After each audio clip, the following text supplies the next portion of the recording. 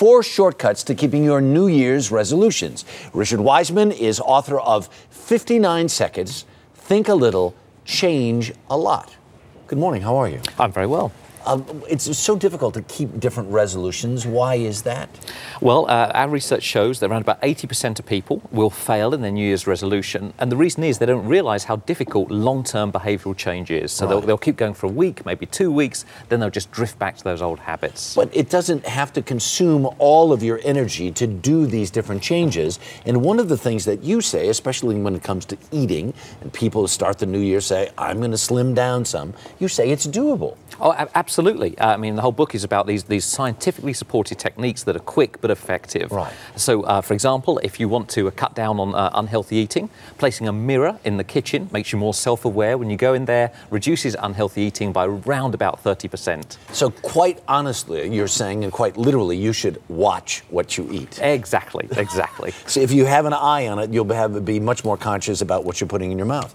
The other uh, one of the, your tips in these 59 second ideas is start scribbling. Scribbling what?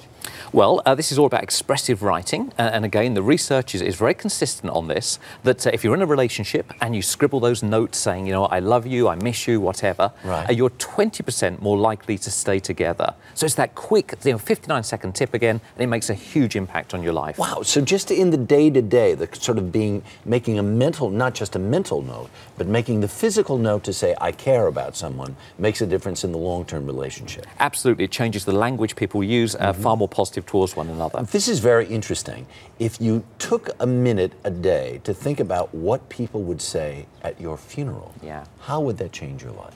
Well, this is all about your legacy. It's about long term goals and motivation. So you think, what would you like your best friend to stand up and say about you in terms of your family life, in terms of your career, and are you on track to you achieve like to that? party. oh, no, I'm sorry. That was a. That, that, so, so then the question is, are you on track with that? And mm-hmm. it helps people with long term planning and, and to move to where they want to be. Wow, very interesting. Last but not least, the notion of some simple thing that you can do to help day to day relationships. And what do you say it is? It's a simple touch on the upper arm, a very light touch, a very quick touch, uh, but that makes people far more likely to, to help you. Uh, so the studies, or if you're in the street asking for change, for example, mm-hmm. or you're trying to get someone to help you out, very light touch, upper arm, about 30% more likely to be successful. Really? With, and that's without getting human resources involved? Absolutely. It's, it's a, a light, quick touch. All right, very good. Richard Wiseman very interesting. Thank you very, very much.